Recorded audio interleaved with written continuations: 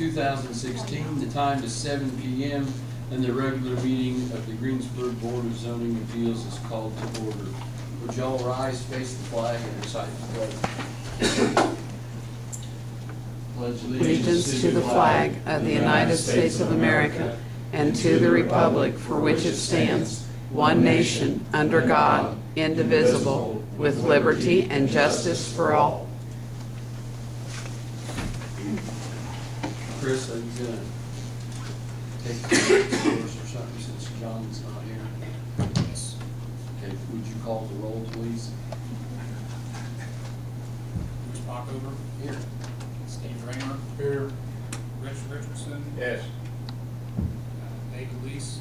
Here. Roy Benfield. Present. Thank you, Chris. I need to get to talk to you about it before, sorry. Okay, first item on the agenda is to approve the minutes from the August sixteenth, two thousand sixteen meeting.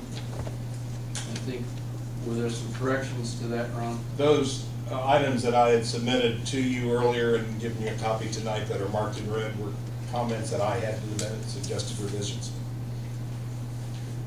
Did everybody get a chance to look at those? And If there's no further additions or corrections, I'd entertain a motion that we approve them as they are corrected on the sheet in front of you. Okay, I'll make a motion to approve. Can I have a second? Thank you, Bruce. All those in favor of approving the minutes signify by saying aye. Aye. Opposed, same sign. Hearing none, they stand approved. That brings us to new business. Shelly Knoll is requesting a permanent variance at two eleven West First Street, Greensburg, Indiana, as allowed by the City of Greensburg Code of Ordinances one fifty-five point two four two B two. The permanent variance involves the addition of up to a five hundred square foot carport on an existing accessory building garage, which has an area of four hundred and thirty-two square feet, resulting in a total area of up to nine hundred and thirty-two square feet, which is in excess of the maximum area of seven hundred and twenty square feet permitted by the city of Greensburg zoning ordinance sections one fifty-five point oh one seven A one and one fifty-five point oh two oh C. Also included is a variance to permit the encroachment of the addition of the carport into the required ten-foot wide side yard and required ten-foot wide rear yard as required by the city of Greensburg zoning ordinances, section one fifty-five point oh two oh C. The resultant side yard for the accessory building would have a side yard width of one foot and a rear yard setback of zero feet.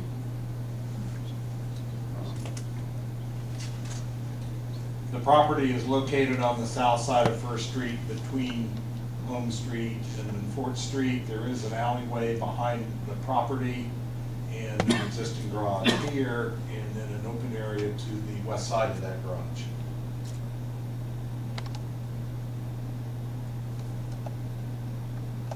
Uh, This is the site plan the petitioner provided, uh, showing the garage and some of their walkways. This is actually a ramp right here, and this is a uh, gravel parking area to the west of the existing garage.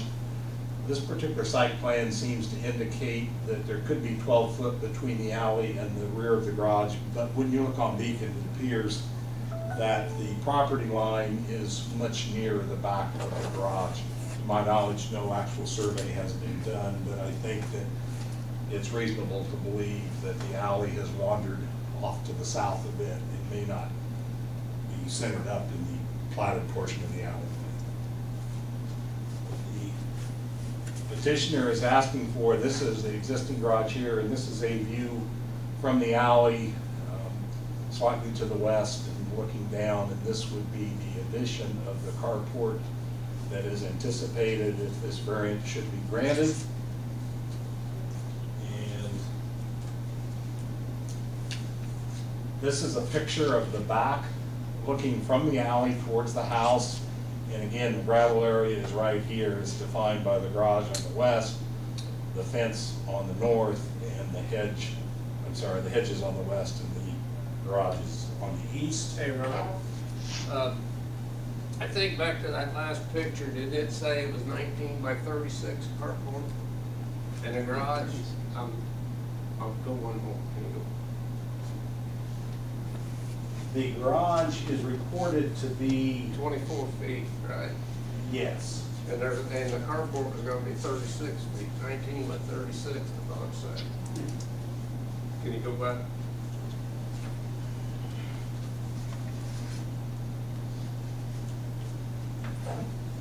Oh, it just says gravel parking area. yeah. Okay. And the thirty-six foot dimension is the long way here. Yeah. But you think, you think that's less than that? I think the alley is much closer to, the property line along the side of the alley is much closer to the garage than twelve feet. I can't assert that, but that's my belief.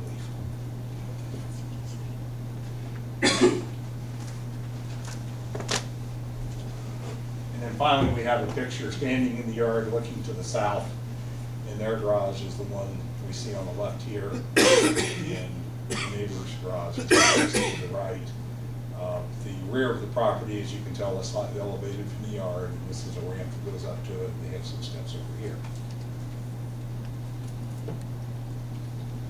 All right. Questions? Board members for Ron? Yes, Bruce? The hedge, uh, who actually owns the hedge?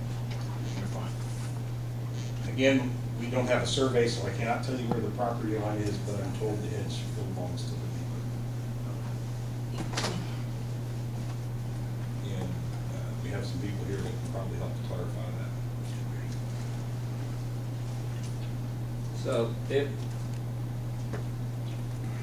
gonna have a one foot rear yard setback of zero. Zero And rear rear yard, yard, zero feet. Zero to the back property Yeah. line. and So that means that garage is right at the back property line. I suspect that to be correct. I can't have a survey.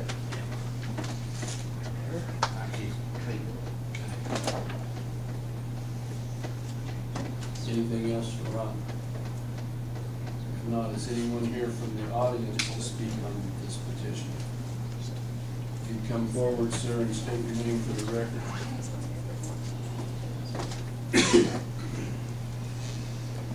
My name is uh, Larry Hadler. I'm the adjoining neighbor on the west side. Um, You should have an email that I sent you Ron. He said that he distributed that to you. Um, Part of my, one of the things I want to say is that, to start with, is that I like my neighbors, they're good neighbors.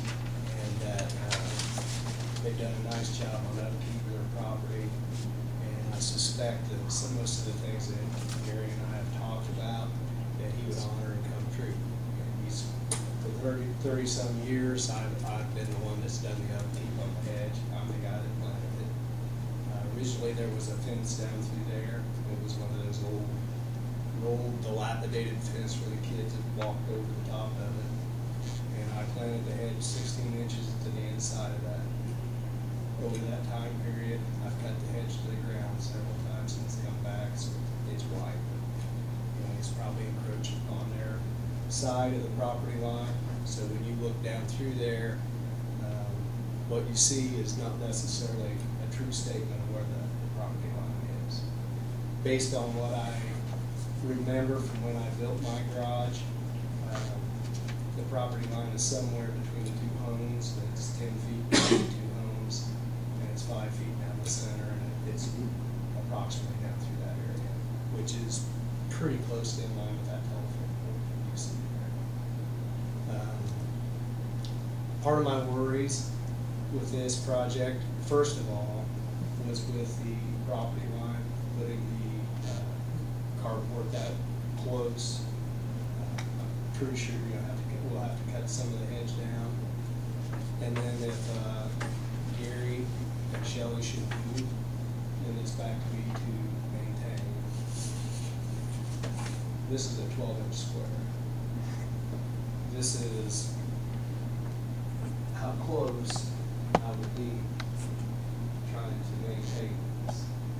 I'm pretty confident that at some point, um, carports, car, cords get closed in, or they find out that it doesn't keep old weather off. Something as simple as a polypropylene tarp down. But when you're that close, trying to do a job, it's pretty difficult. If I go to clean the gutters, I don't think I can get a ladder in that area to clean the gutters. I don't think I can, a step ladder is wider than that. If it's a, s- uh, extended ladder, it only can go up one place, and that's on my side. And so, So you, you're saying they have to clean up, right? yes. Yeah, I have no gutters on that side, my gable rooms. Yeah, well, you kept saying if I have to clean. I'm sorry. Well, I may. You know, but, um, so some of that ma, the maintenance issue is one of my big, big concerns with all this. Um, And that was the first thing that I looked at. And then after I kind of got a feel for that, I, I started to think about the encroachment.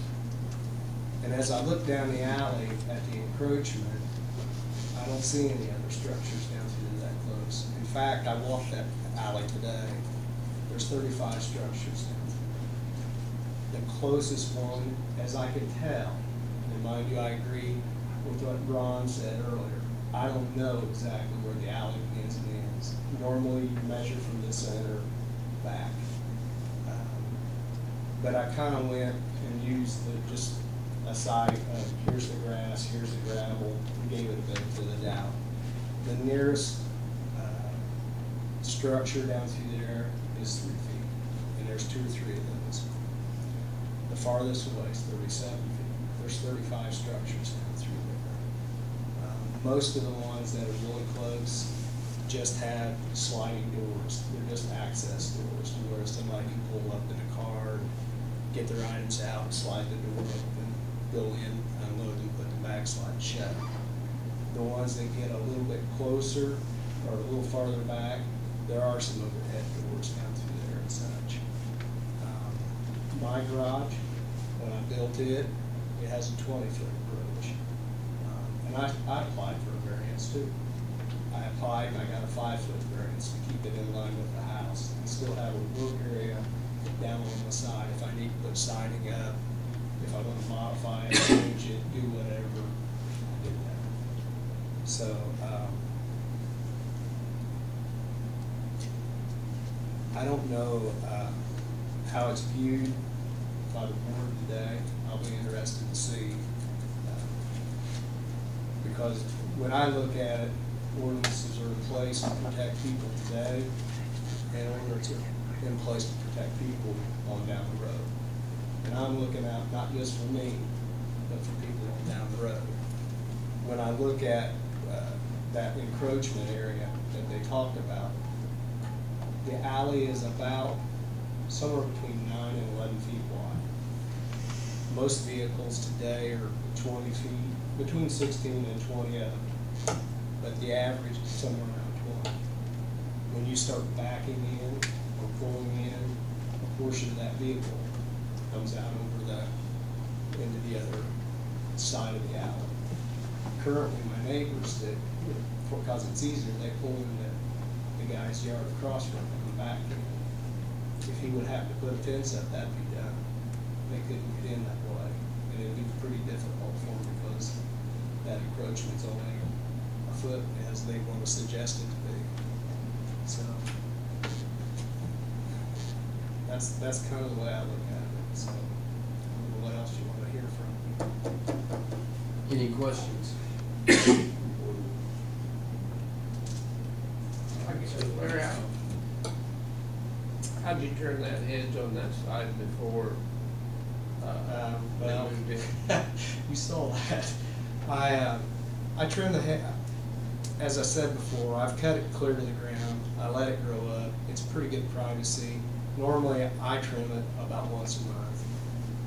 Gary, he likes to trim it as he mows. He'll get the hedge trimmer out, he'll go, it runs, it looks nice. You know, if I got time, I would do that. I got, I do a lot of other things as well.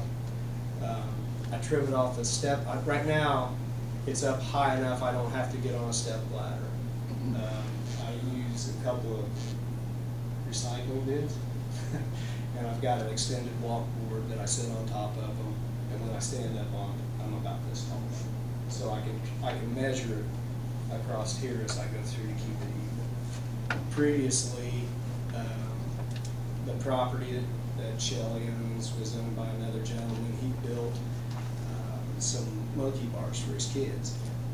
Nice job. My kids were young too. They, they both played on it. And then what he decided he wanted to go all out and he built a uh, eight by eight by eight playhouse on top of it.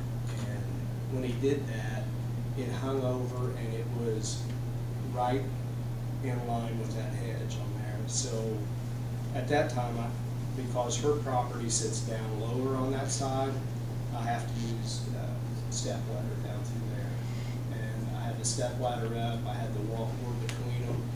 And to get along that hedge was, I had to kind of lean out this direction because it- the hedge came up and the building went out, up and right along the top of. What I did, one of the ladders kicked out and I threw the hedge trimmer and I just put my arm back and when I did, I broke my wrist. So that's a, that's kind of my background for, you know. Use a what- walkboard there. Yes, oh, is that, I'm sorry for the, yes, that's, uh, that's all of Anything else? Right, Thank you. it. Welcome. Anyone else from the audience to speak on this petition? By yourself, please. My name's Gary Warfield. I, uh, with Shelly. Shelly's my girlfriend. I've been, uh, together quite a while, uh, many years, and I've lived at this address for a couple of years now. Um, I would like to address a couple of things. Um, I think maybe you had some questions about the property line, and from the, the GIS, uh, uh, site on the, on the county map. And, uh, Ron's right, we did not get a survey on this, but according to that map, it would show on the east side and the south side of the garage is where the property lines are, and I can only assume that when that garage or shed was built years and years ago, probably forty or fifty years ago at least, it was built in that back corner of the property. Um, it's eighteen foot wide. What we're looking to build is a carport that would be nineteen by twenty-three. Um, so with the eighteen foot of the garage and the nineteen foot of the, the carport, would be thirty-seven foot. Uh, the property's forty foot wide, that would give us three foot on, uh, Mr. Hadler's side. Uh, we asked for a one foot variance, uh, on that side, that was, uh, uh, an overestimation, if you would. We wanted to ask for more than we will probably use. I certainly wouldn't, and I don't plan on going close to twelve inches because I'm afraid we'd be right back here in some type of civil action if it was even close. Uh, So it would not be that close, just like the square footage is actually not, um, it's probably a hundred foot smaller than was uh, requested in the variance. Um, We will be going over the uh, allowable current vari, or uh, square footage. We overestimated on that also, Mr. Richardson. I don't know if that may be clarified. Yeah. Okay. Um, and to address a couple things, uh, that came up, um, I think everybody's concerned about any, uh, future neighbors that would come in that wouldn't upkeep, uh, their properties. I am, uh, you know, and I'm sure if I moved to another area that people would be worried about me. Um, I certainly, uh, appreciate Mr. Hadler's, uh, concerns, um, but I don't feel like we should be penalized for, uh, any potential misfallings or, landscaping deficiencies of any future owners, and I'm just gonna leave it at that. Um, The design of the uh, carport that we're gonna, uh, request to put up, um, on that west side along the, the hedgerow, of the bush, and keep in mind, probably that, that, that hedge is currently probably four to five foot wide at various points.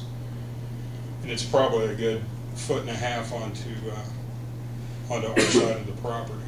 Um, it's gonna be an open design carport.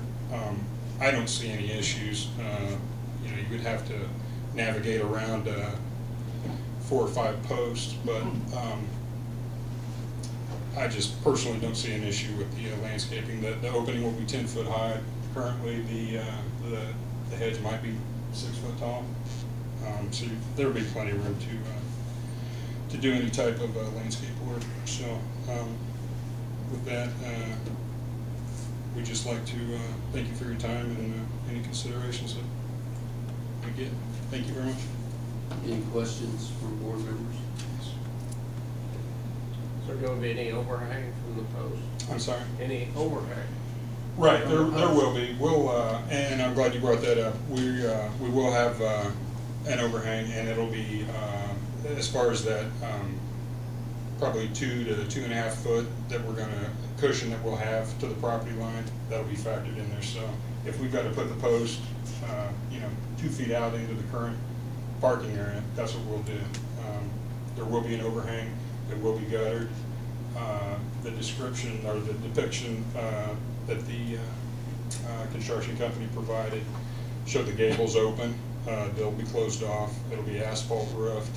Um, I'll use uh, high-quality stain, just like we stained uh, the the wood that you see there and then the large deck on the house. Um, In our humble opinion, it'll- it'll be a quality structure. Will be a concrete floor in it? You know, um, it's funny you mention that because that crossed my mind today. Uh, When we build it, no, it won't. We'll leave it gravel. Uh, we might entertain that down the road, but right now that's, that's not what we're, uh, going for.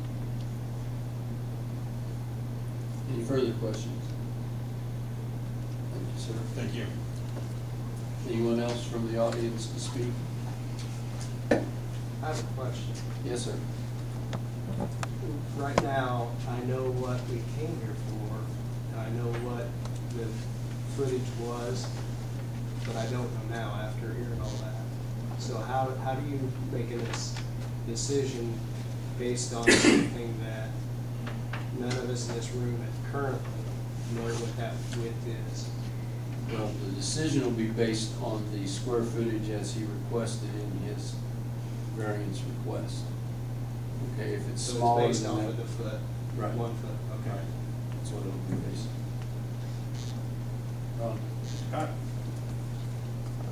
I was going to perhaps clarify something I think Rich was, was getting after. Our ordinance says that the yard setback is measured from the property line to the foundation.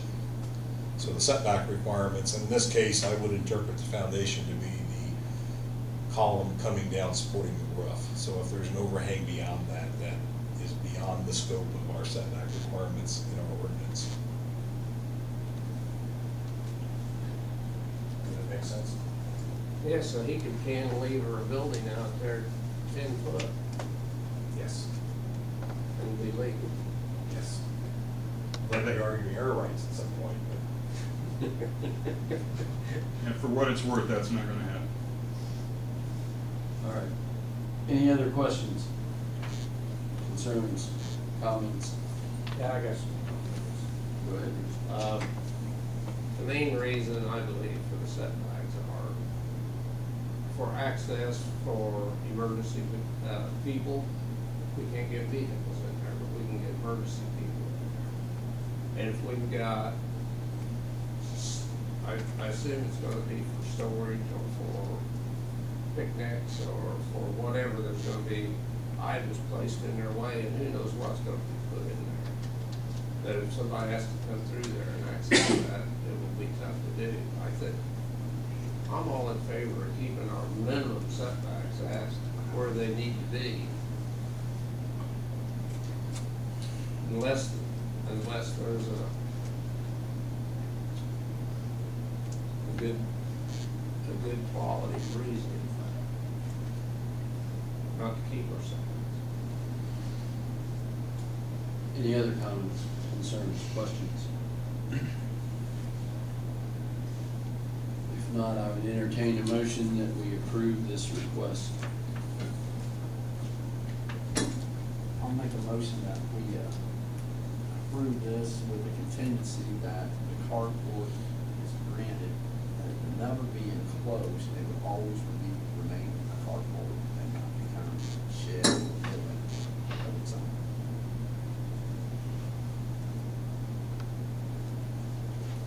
I have a motion. Do I have a second?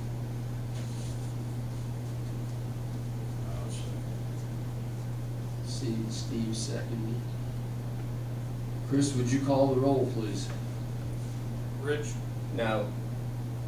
David? No. Bruce? No. Steve? No. Rolly? No.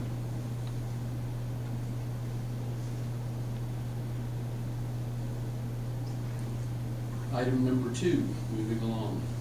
Michael Wessel is requesting a permanent variance at four oh six North Broadway Street, Greensburg, Indiana, as allowed by the City of Greensburg Code of Ordinance, Section 155.242B2. The permanent variance involves erecting a privacy fence in a front yard with a height of up to 72 inches, which is in excess of the maximum height of 48 inches permitted in a front yard by the City of Greensburg Code of Ordinances, Section 155.100. property in question is located on the northeast corner of the intersection of Broadway Street and Central Avenue. Because the property has two free, street frontages, it has two front yards. One along the Central Avenue side and one along the Broadway side. Um, In general, and I'll give a little more detail here, but he's requesting a fence around this part of his yard. Um, I do note that there is one residence here that faces Central, and then these over here face Central. None of these in the block that this property is in faces Central, as these two do not face Central, but there is some down here that face Central. So in the immediate area, even though it's a front yard by the ordinance, it's not used by any of the adjoining neighbors as front yards. The request is to construct a fence starting at this corner of the house, coming down to the sidewalk, sidewalk, going across with a gate over his driveway and back up the alley and back across his property line to the rear of his house. City ordinance does not prohibit fences in side yards, so the fence can be constructed in any of the required yards.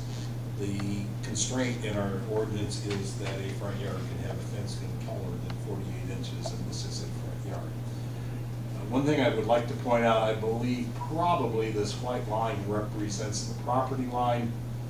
And if it does, under any circumstance, the fence would not be permitted beyond that line, but that's kind of a fine tuning thing. Um, In this particular area, Central Avenue is one-way westbound.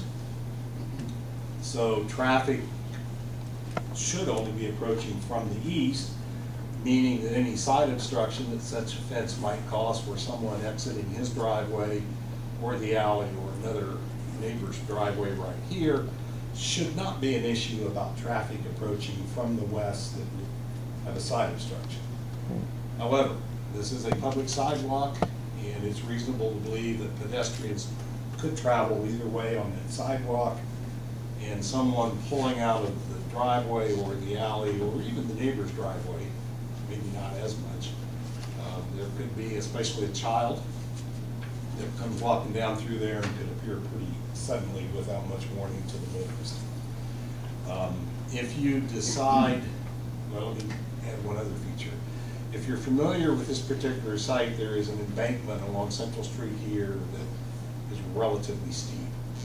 Um, If you should decide to approve this variance, it would be my recommendation that you hold the fence back some distance from the sidewalk, and the number I picked out was ten feet, so that a vehicle exiting the driveway and or the alley would have a chance to see a pedestrian coming up the way before they got into the sidewalk.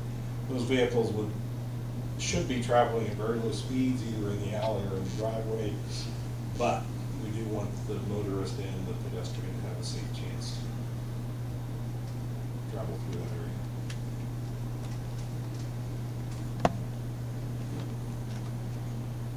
Thank you. My main concern in viewing this myself was having, raising my grandchildren now. My grandson, even though we don't live near there, they walk up and down Central Street a lot going to the junior high school. Uh, It's very heavily traveled in the morning and at late afternoon. And I personally think that that fence can't be that tall and come out toward that sidewalk that far. Because there's just, there's a lot of kids, you know, and I, and I'm sure there's other people at other times of the day, but I know they travel that in the mornings and in the afternoon heavily. And I, that concerned me when I first went there, so i just of fun. Anybody else have any concerns or questions about this? Yeah, I've got, I've got some things on it, that, that lot, that elevation change from sidewalk, I don't know, it's, it's probably not more than ten or twelve foot back from the sidewalk. It changes in elevation from four feet up to five feet.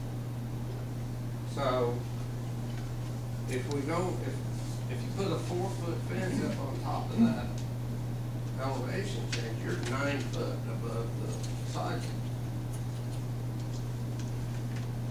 I understand wouldn't be as much square footage, as much area inside it. But he wouldn't need a variance at all. He could put a four foot fence in there and still have his privacy.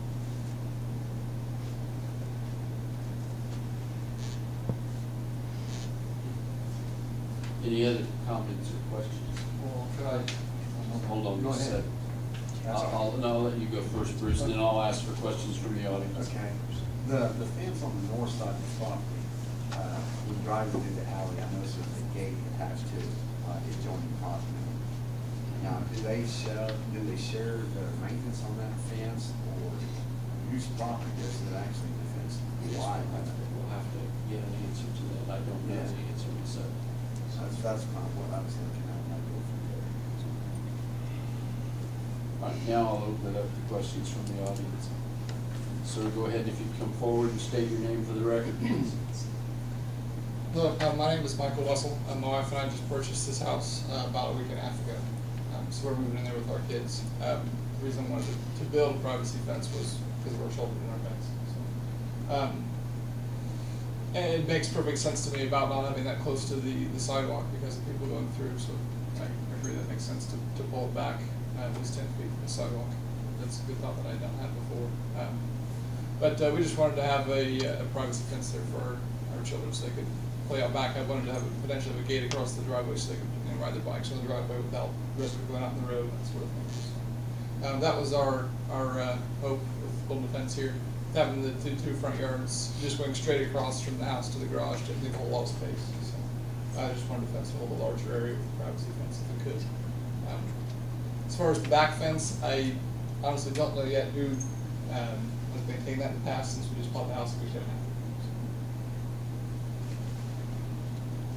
Are, are you still, um, wanting a six foot fence, I don't even know it's gonna be back and up on top of that hill fence? Um, down toward the garage end, it, it doesn't rise quite as quickly, um, so I would like to stick with the six inch fence. Um, Near the garage, it's, it's only a foot or two higher than the sidewalk. Um, we should go back a little bit there, maybe, maybe two feet probably, so. Um, I would have preferred to have the, uh, the six foot. We have a couple of dogs too, I'd like a taller fence to make sure we keep them in the yard too, if they're outside. So,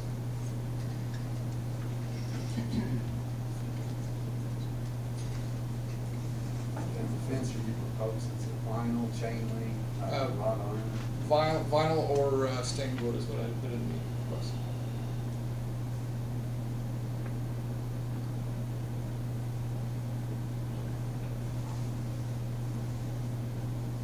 Any other questions? Any other comments from people here, audience members? Any other questions from board members of Michael? Okay, thank you, sir. If there's no other comments or questions, Ron, do you have something else you want to say? Okay, I entertain a motion that we approve this request. Personally, I'd like to see the caveat that it be placed ten foot back from the sidewalk. But Whoever makes the motion, that's up to them. I'll make the motion that, uh, we take Ron's suggestion that we would place back ten foot away from the sidewalk for, uh, public safety.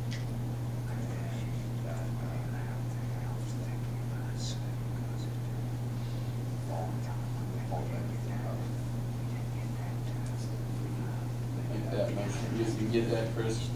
Yes. Okay. Do I have a second? Steve second. When you're done, Chris, would you call the roll, please?